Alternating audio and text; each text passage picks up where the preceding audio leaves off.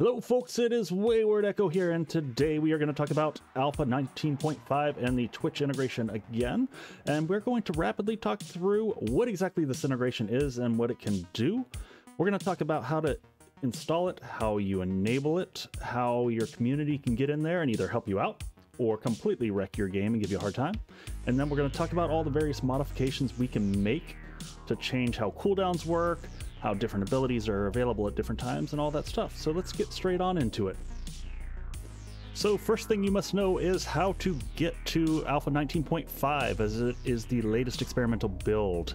If you're watching this after this fact, you can probably just go to 19.5 or 20 if that's available. So you're going to come right here into good old Steam and you're going to right click properties. That's going to pull up this lovely little window here. Under this, you've got betas down here. And in this, you're going to click it and you're going to go all the way to the bottom and you are going to select latest experimental build and you will click out of here and then you are done. If you didn't already have it installed, you'll see it start to do an update and then you should be good to go with 19.5. Now that we have 19.5 installed, the common question I get is who can use this? How do I enable this? So you can use this for single player, player to player, multiplayer, on a server, any of those work. If you're on a server, you must hold a valid permission level on the host. The default is going to be 90, and you've got to be registered with Twitch, and that is all you need.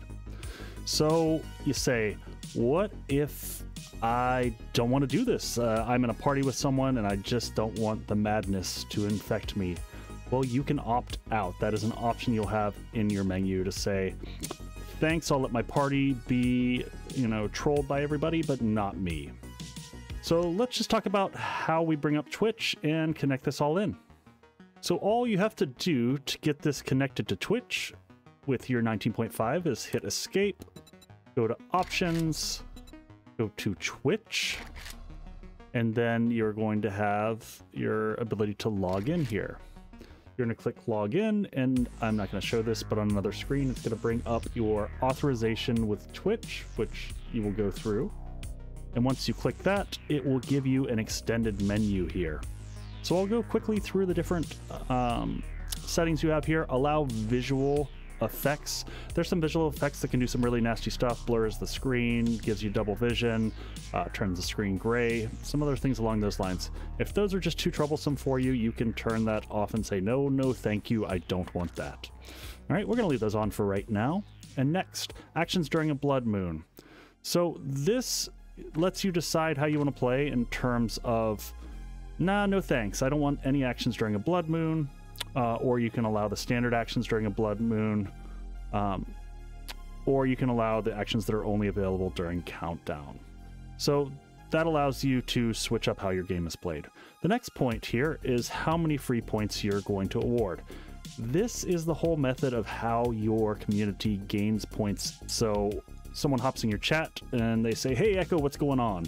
The moment they start talking to you there, uh, they're going to start getting one point every 10 seconds. Um, if they are a subscriber, they'll get double that.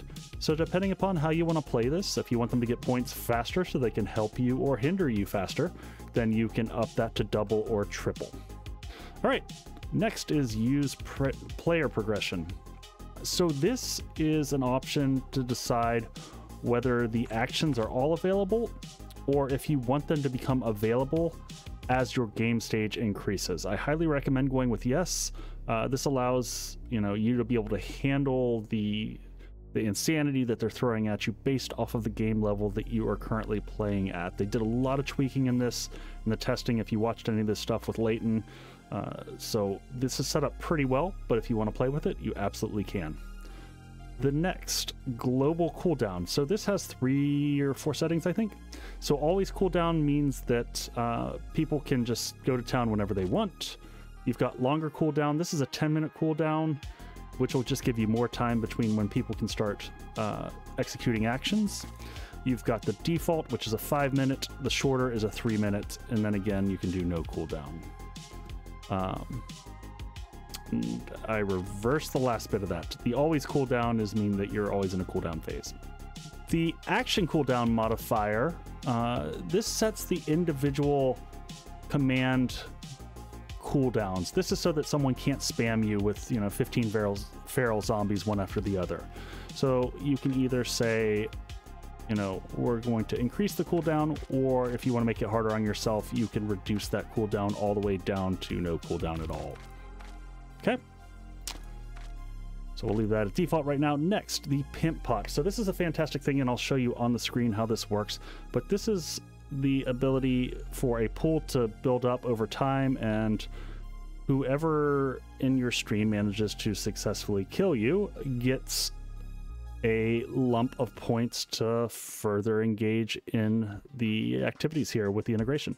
So there's two methods of doing it. There's enable the, the PP, the pimp pot, um, and then there's enable SP. So these are two types of points you can gain. So the pimp points are specific to the current stream that you're doing.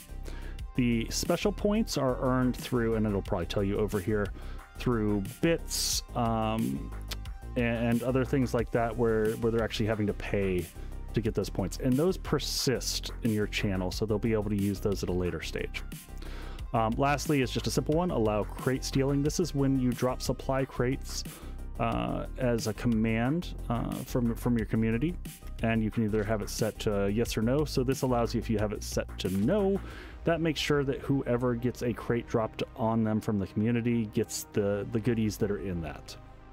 That covered the standard configuration options that you have, and now I will walk you through the menu that you're going to see on the screen. So on the right side of the screen, you're going to see this menu. Up the top, it's going to have an indicator whether it's ready or in cooldown. That's going to be the indication of whether the folks in your Twitch channel can execute commands against you. The next, you're going to have a bar here that as commands are executed, this is going to turn red. And when it hits the top, you're going to enter back into your cooldown phase based off of whatever your setting was. Next, you have the option to pause action, and that just shuts down actions uh, if you needed a break for whatever reason. Uh, next, you have uh, this cog wheel that'll let you go into some additional details that I'll walk through in just a second. Over here is your total pimp pot that you have. You'll see this grow over time. Each time someone executes a command, a fraction of that will come into here. And this is what's available for your community. Whoever gets that final killing blow from their spawned creature that murders you, they are going to get that in either pimp points or in special points, depending upon how you set that in the settings below. Down here, you're going to see the current available supplies, buffs, debuffs, spawns, and it'll just keep rotating through so that you can see them. It's going to have the command so your community knows exactly what uh, to type into Twitch chat. Uh, and then you'll see these cycle through the different types. Um, if you are targeting someone, you're just going to do the command space and then their name. It's just that simple. And that's how this functions. So next, the cogwheel here that I mentioned just a second ago is going to give you a deeper menu to look through. The first first tab on this is going to be the actions. Then we can see a history of the actions that have occurred. Next, we have the leaderboard, and this is the kills that your community has gotten against you. Uh, we'll go back to the actions here. So this further breaks out into all the spawns that can come in. And for each of these, you can click in and find additional information. So if I want to look here at Cop Zombie and see what game stage, I can see that that's going to be available starting at game stage 35. I'll see the cooldown, I'll see the point cost associated, and I'll get into this later, but all these values here are editable through the twitch.xml. And I'll show you where to find that and, and how you can make quick modifications. So the next one you have on here are all the supply crates. And again, you'll see it's going to have different game stages, and that's going to indicate the level of the supply crate that you'll get. Um, and, you know, just means that there will be better, better goodies in there. Then we've got all the buffs here. We've got all the debuffs listed here, so you can fiddle through all those. And then lastly, all the special items. And then another key point that I'll uh, toss out on this, you should check through the tips here. There's some really good information in these tips. Uh, you know, this will give you the details around the pimp pot, uh, party actions and how those are affected. Safe zones. This is another good one. Um, so land claim blocks, as well as being at the trader, will will change the status over here to safe, which means that folks cannot trigger actions on you or your team. Um, this will give you the details around earning points. So yeah, tab through these. This will give you all the good details um, if you're just looking for some extra information. So how does this look when you put it all together? Here is Lathan and Rick and Joel from the Fun Pimps doing a quick playthrough on Twitch. And you can see the community here is starting to give them some goodies. And they are also starting to drop in a number of soldiers and other nasty baddies to, to give them a hard time. So this is what it starts to look like in real time. And you can see the, the bar is starting to fill up under the ready as people are executing commands. Additionally, as more commands are being executed, you're seeing that pimp pot go up. Here comes a vulture coming in. Lathan thinks he's safe here. He's climbing back up top, and oh, and now the community hits them with the blur. This is what I was talking about in terms of the visual cues, makes it much harder to get around. You can see the focus on Lathan's face as he backs away, watching health tick back up. This moment he's wondering, is my community going to murder me? So he backs away, takes a few shots, and just as he does, he watches the fun pimp take a fall. He's a man down. He goes for some healing. He's feeling a little weak, a little lonely. And then the community closes in on him. Yeah, I'm dead. And it ends. So let me know what you guys think in the comments below. But for me, this looks like an amazing way to engage with your community and have a ton of fun and back and forth engagement. So, as I promised, I will give you a quick walkthrough on how to find and edit the XML file. If you guys have enjoyed this, please drop a like, subscribe, hit that notification bell. Really, really appreciate it. And uh, without further ado, let's swap on over and take a look at the XML file. All right, really easy to get this. You're to pull up your Steam client. Up here, you're to find your seven days to die. On your right side, you're to right click properties. And from here, you're to go into your local files and you're to browse. All right, once that comes up, you're to grab the data folder and then you're to go down to the config folder. In here, you'll notice that my icons look probably differently than yours. That's going to be based off of whatever XML editor you have installed. If you don't have one, just Google up XML editor and you will find 20 gazillion of them for free. So I'm going to come down here to the twitch.xml file. That's the one we want to look at. And once you're in here, uh, you can see a list of all the commands, spawns, supplies, all those different character, you know, characteristics that you can modify.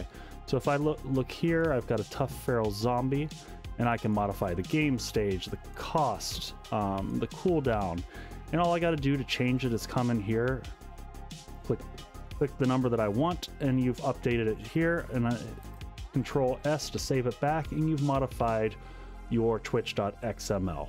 Now, I'm sure moving forward that people will come out with a ton of these that you can take a look at and play with to change game style um, and just switch up how this this integration allows you to work with your community. So, hope you guys have enjoyed this, and I will see you on the next one. Thanks. Eko out.